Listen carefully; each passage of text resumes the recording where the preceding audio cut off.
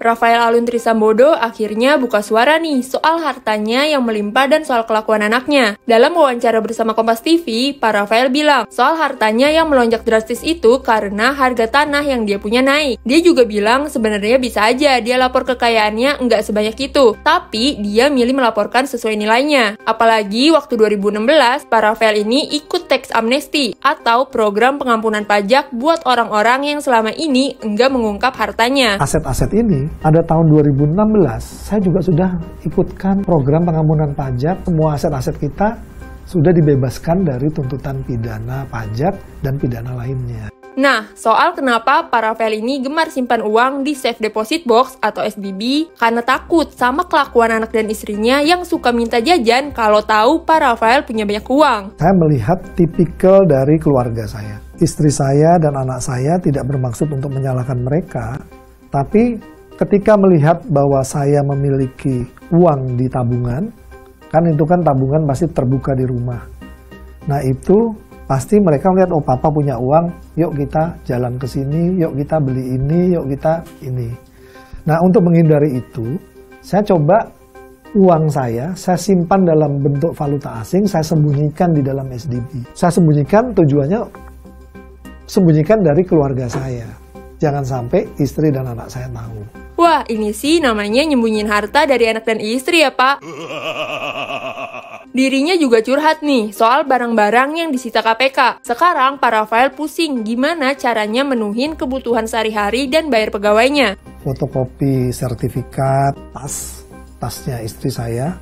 Kemudian yang saya sedih itu uang tunai. Uang belanja istri saya yang belum sempat dimasuk-masukkan ke amplop untuk belanja harian itu juga diambil. Dan uang saya senilai 40 jutaan yang sebetulnya awalnya untuk membayar THR beberapa pegawai saya di rumah itu juga diambil. Jadi saya agak kebingungan nanti ketika THR ini saya harus membayarnya dengan apa begitu Soal gaya hidup mewah istrinya di media sosial dengan tas branded, kata para VLC kebanyakan tas KW. Paling istrinya hanya beli tas ori beberapa aja nih. Style istri saya ini kalau kita lihat di media sosial, yang tampil di media sosial itu adalah ketika dia berkunjung ke butik Dior.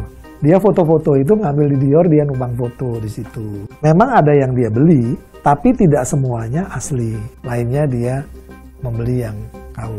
Selain ngomongin soal hartanya, Pak Rafael juga mengungkapkan perasaannya soal Mario Dandi. Ia ngaku Mario anak kebanggaannya yang berubah sejak masuk Tarunan Nusantara. Kepada Mario, dia harus melakukan pertobatan. Kemudian saya sebagai orang tuanya juga meminta maaf apabila yang terjadi ini mungkin karena saya alay dalam mendidik anak saya. Harapan saya tentunya anak saya dengan saya mengajukan permintaan maaf itu anak saya dapat dihukum sesuai apa yang dia lakukan. Mario ini sebetulnya orang yang taat terhadap komitmen. Dia punya cita-cita, dia punya kemauan, dan dia mencoba mewujudkannya. Ini anak sebetulnya merupakan anak kebanggaan saya karena dia punya tekad dan kemauan yang besar. Tapi setelah dia bersekolah di tempat yang mendidik dia dengan semi militer, ini saya melihat ada perubahan karakter.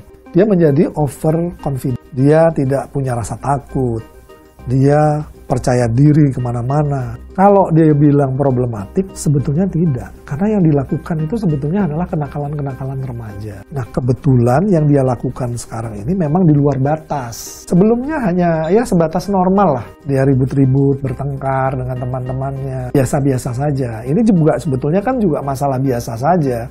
Hanya perkelahian anak muda, Cuma kemudian dia menganiayanya mungkin karena emosi terlalu berlebihan sehingga mengakibatkan Ananda David menjadi seperti itu. Gimana? Kalian sedih nggak dengan nasib para sekarang? Komen ya!